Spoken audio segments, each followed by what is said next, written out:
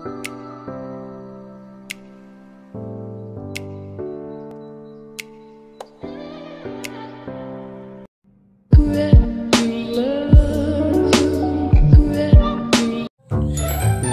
up mga kabobo? Welcome back to my channel and kung bago pa pa lang dito, don't forget to like and subscribe to our channel. So ngayong araw ay eh, meron tayong pupuntahan. Pupunta tayo sa Paraiso Mangrove Eco Learning Park. Maganda doon, nasa may Burayan. Hinihintay ko na lang ng mga kasama ko doon kasi hindi pa sila pumupunta rito. Hindi ko alam kung saan pa sila pupunta. Eh, ayun, hintayin lang muna natin sila. I'll see you later. Dito na po sila. Kanina po ba kayo inaantay? Ay, sorry lang. Ngayon, ngayon papunta kami kay na JP. Kasi yung libre. Kasi siya yung nagpifinance sa amin. Mag-entrance. Ngayon, nandito na po si JP. Kasama na namin si JP. What's up? Saan tayo pupunta ngayon? Kaya Shinggay. Kaya na Shinggay. ah.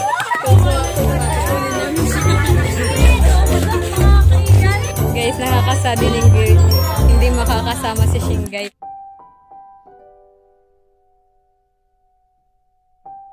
Ano guys? Hello guys! Wala Ano kayo ba yung outfit ng mga nagbabasketball?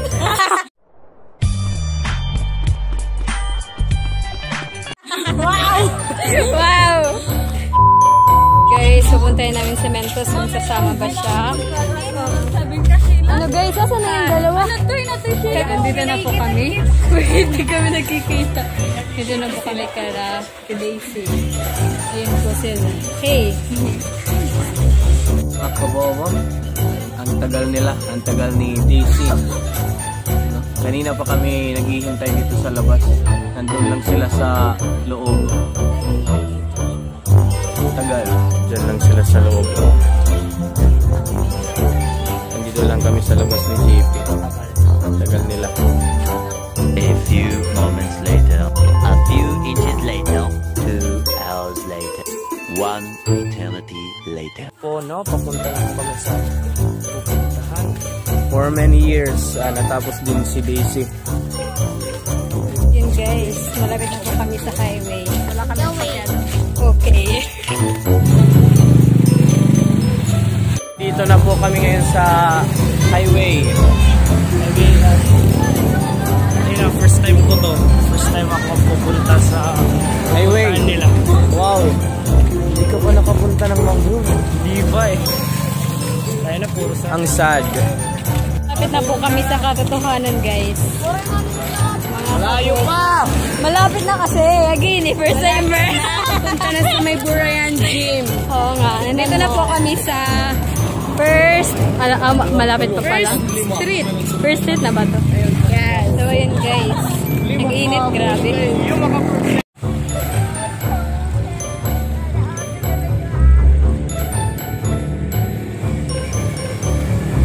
We are now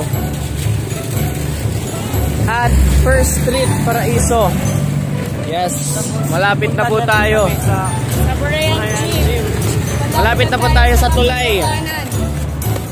Sa tulay kung saan dumudugtong yung ano, Tacloban sa Kasamar. Wow! Delikado yung buhay ko dito. Andito na kami ngayon sa may Burayan Gym. Ayun na boy, daming chicks. Ayun na. Ano ba to? Kinakabahan ako. Baka may pumatay sa akin dito. Joke lang. Marami ditong mga uwat. You know what's uwat? uwat? Ano yung uwat? Yung mga wala sa kanila. wala sa Gago. Ano yun? Aringit. Nonsense. Povo, we are approaching the second bridge kung saan babalik tayo ulit. Ah, tumawid tayo sa isang bridge ngayon, tatawid tayo sa another bridge.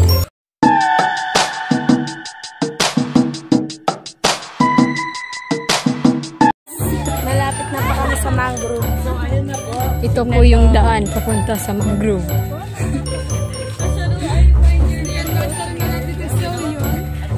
So ngayon, This is the hidden. Ay, charot hidden. Abnormal. Ito po yung daan papunta sa mga Nandito na po kami. Entering the Echo Park. Yes, mangrove.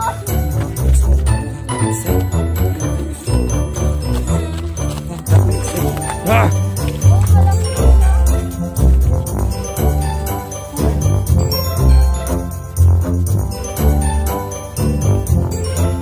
Yung pinaka-nursery nila kung saan pinapatubo yung mga seedlings. Yan, sobrang dami na ng mga mangroves ditong tumutubo. Puno ng dahon. Hello, guys, puno ng dahon dito. Katatapos lang namin magpalista at magbayad ng entrance fee. Nasaan na yung ano, stub? Nasaan na yung stub? Ayun.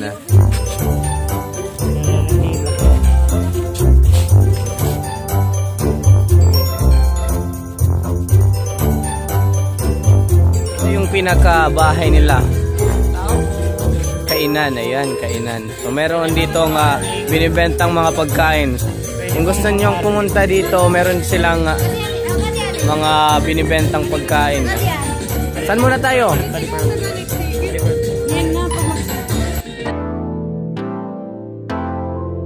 Yeah, yeah, yeah, yeah, yeah, yeah, yeah. Mag-umaga na naman at ikaw ang katabi Bakit ba ka pa, di ka pa umuwi Sabi pagod lang talaga, gusto mo pahinga Umaga na naman kami natapos kagabi Pool na pala dito.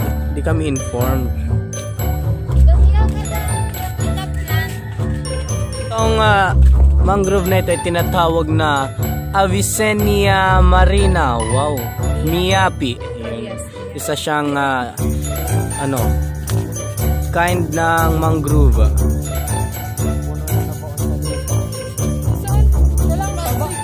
Aegiceras corniculatum. Saging-saging. Nasaan yung saging dito? Nasaan yung... Ayun! Andito pa. Yun, ang liliit na saging. Kaya siya tinawag na saging-saging. There, whoa! Another species is Seriops tagal. Ang tagal pareho kay Daisy kanina ang tagal. Tungog tangal. Tungog tangal. Or again, uh, stepping at a new bridge. Wow. Lahat puros. Mga kababo kung hindi nyo alam eh, yung patwalk na ito ay gawa sa mga plastic. Yan. Mga project sa school. Tulad ng kaibigan mo may doon. Hindi yung nga patwalk na talaga, patwalk talaga ito ay gawa sa plastic. Ayan, nakikita nyo yan. Yan yung tinatawag na eco bricks. Maraming paaralan yung nagpo-project ng eco bricks. Tsaka kinukuha ng aming ah, barangay upang magawa ng isang ano, patwalk na yan.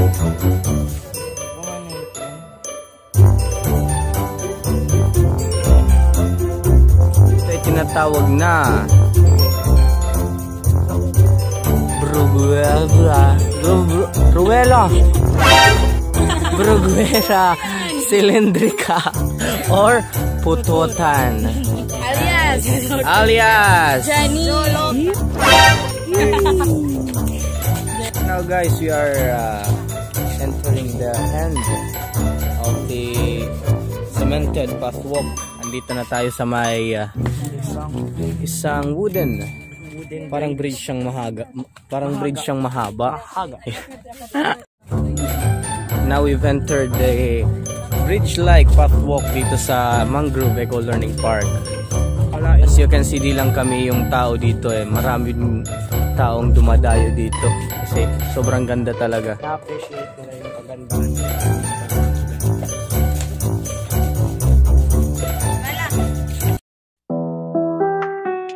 Oh yeah, oh yeah, yeah. Tirahin na natin ang batago, yeah. Kahit kulangin sa hangin, eh Yan sila. Ayaw nilang magpa-picture. Sayang opportunity o color green lahat.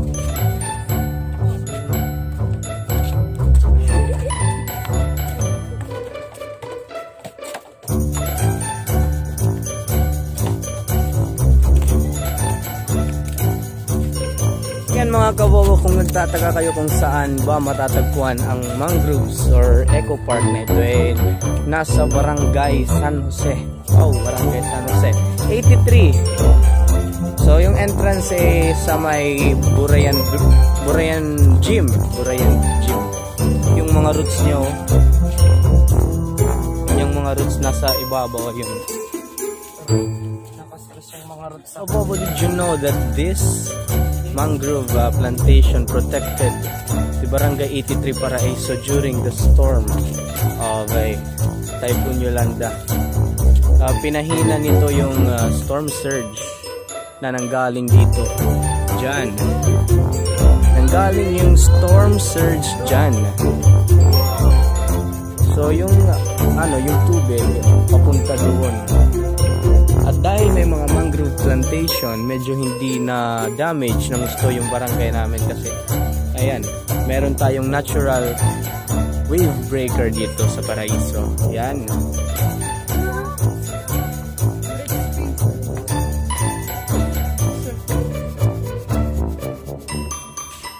Ano bang pinagkakaguluhan nito? Ginagawa niyo. So weird. Mga mangrove na ito ay tinatawag na Rhizophora stylosa. Wow. Style. Wow. Balang araw ipapangalan ko yan sa anak ko. Bakaw ba to? O hindi? Di ko alam. Kabobo eh, klaro na yung San Jose Market dito. Teka, teka. Ano yung klaro? Ano yung klaro? Clear. Here. Ayan. Kasi ah, pag linangoy mo tong ano, dagat na ito, pupunta ka sa San Jose Market. Pag lumangoy ka naman doon, yan yung malaking building na yan, yan yung Hotel Costa, Costa Brava kung di ako nagkakamali. Oo, Hotel Costa Brava yan. And then, pag abot dito, kita nyo yung may parang, ah, ayan, yan yung Bangko Sentral ng Pilipinas. Sa may Fisherman's Village yan. And then, pag abot mo doon, pag doon ka lumangoy, yun, doon. Teka lang. Yun. Hindi ka naaabot dyan kasi may pating. Joke! Yan yung airport, San Jose Airport, DZR. Daniel Zero Maldes Airport. Mga kabobo, marami tayong makikitang mga bagong tubo na mga mangrove. So, kanina ipinakita ko sa inyo yung mangrove nursery. Pag tumubo na sila ng maganda, dito sila itinatanim muli. Ano para gumawa ng barrier laban sa mga natural natural disasters. Ayun. Kagaya ng daluyong or storm surge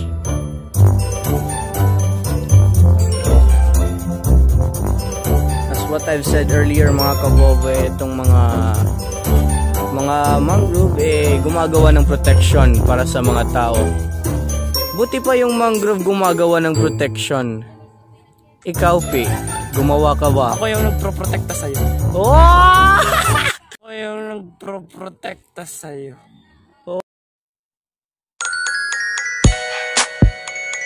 Mga girls, ayun, nandun na sila sa may ah, malapit sa katapusan ng Katapusan. kanilang buhay. Joke lang. Katapusan nitong ano, Katapusan lang. kahoy na bridge. Ayan. Yung isda. Nasaan na ba yung isda? Yun. Ayun, isda. Maraming isda pala dito. Hindi mo makita. Nasaan na? Malabo. Malabo, malabo. Malabong magiging kayo. Malabong magiging kayo.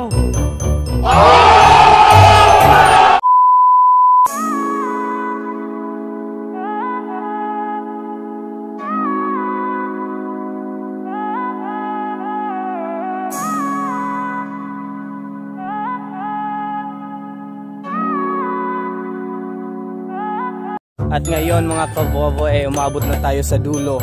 Sa dulo, ng walang hanggan. Sa dulo. Ito yung dulo ng ating bridge, wooden bridge. So, ang pagkakalam ko eh dudugtungan pa ito ah, papunta doon hanggang umabot sa makakaya nito. Itinuro ko sa inyo yung ano, airport, nandoon yung airport. So, sa kabila naman dun, yung Tacloban proper, eh, klaro yung ano, na yung Santo Niño Church, ayun, Santo Niño Church. At saka Ritz, Ritz Tower. Malabo. Batang, kasi zinum ko. Ayun. So kung gusto nyong lumangoy, patungo doon, di kayo aabot kasi may pating. Joke lang. Kaya talon, no, no. doon, doon kayo aabot sa may Mugs, Magsaysay Boulevard. na po kami guys. Oh, di. Punta kami sa cottage. Ah, sayang yung 20. Wow, 20. Sayang yung 20. Yan, yun eh, yan. Pupunta na po kami sa kabilang bridge kung saan nandun yung cottage. Yung floating cottage. Maganda po doon. Yes po. So, ayun. Above us what they've said, papunta kami ngayon sa mga floating cottage. Yes, meron silang floating cottage Alam niyo dito. yung nag, nag, nag-vlog lang sa yung nakapula. Yung inalakasan yung boses. Oo, kanina pa. Wala akong pake.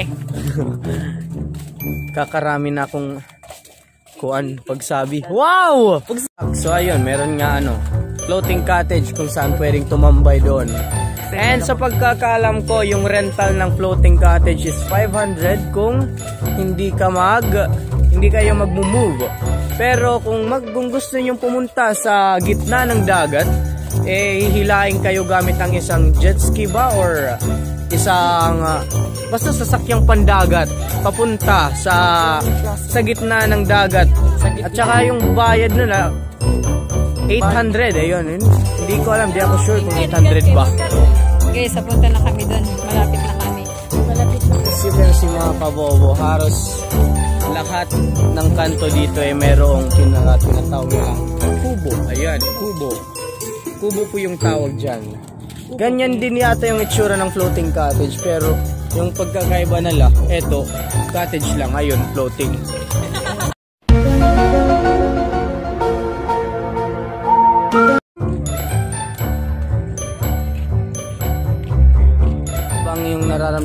Ngayon na nandito tayo sa eco eco learning ng Mangrove ng Paraiso. Mabaw ka. Oh my God! For the information of everybody, mga kavovo, si Daisy po ay hindi po naligo. Karan niya mahal. Oh! Karan niya mahal.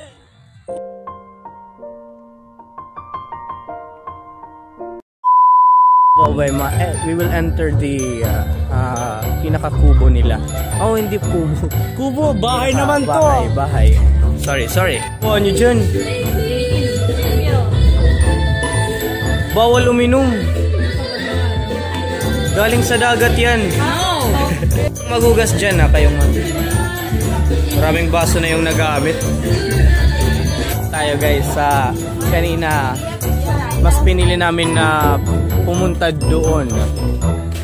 Unahin muna doon. So ngayon nandito kami sa isang ah, wooden bridge na naman pero sa ibang direction. And nakikita na dito yung flat, floating cottage. Yun mga kabobo yan, yung dalawang floating cottage. Dapat dalawa lang. ah. Kasi kung magtatlo,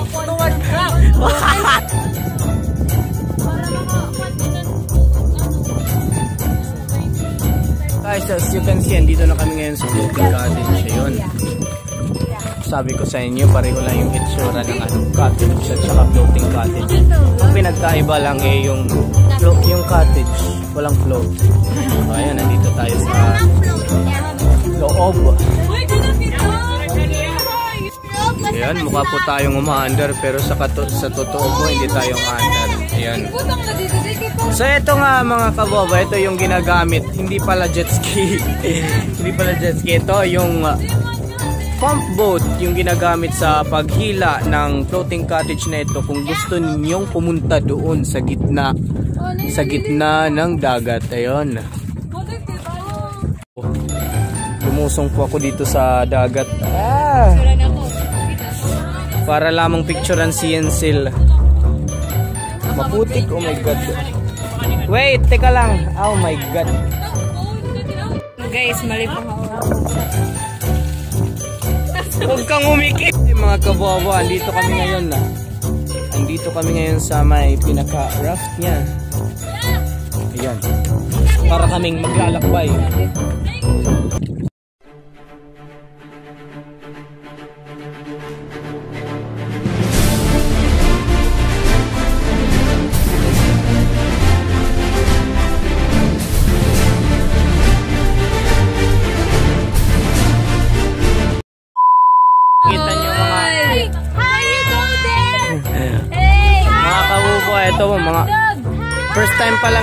Makakita ng Dragon Boat. Ayun. Ayan. So meron pala dito magte-training. Guys, let's go!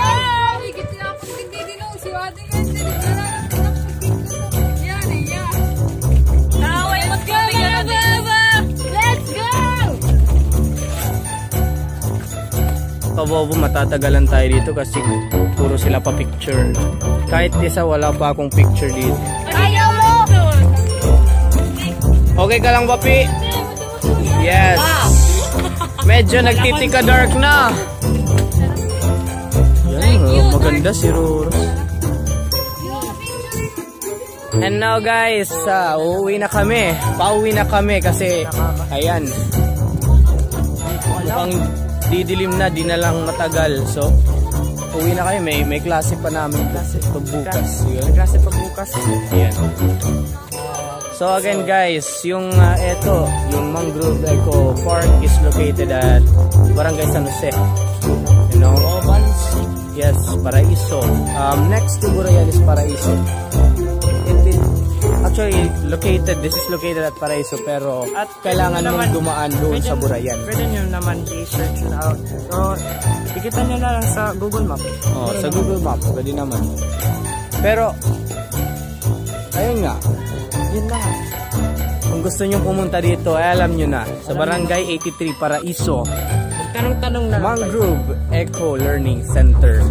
Again, meron silang dalawang floating cottage, dalawang price. It is priced. So, bali 1,000 yun. Dalawa. And then, meron din sila ditong sinaserve na food. Kung gusto nyong kumain dito. Eh, one reminder mga kabobo eh, bawal magdala ng pagkain dito. Alright. Mga kabobo correction. So, yung presyo talaga ng uh, floating cottage, 800 lang. Wala siyang 500. Puro siya 800. Magpahatak ka man doon sa kalagitnaan ng dagat, 800 pa rin. Or hindi, kahit hindi, 800 pa rin. Okay. And another reminder, Wala kang jowa. Wala kang jowa. reminder, si Daisy hindi naligo.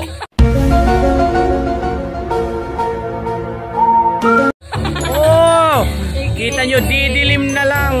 Hindi pa siya naligo. At least, mabango lagi hap, mabango.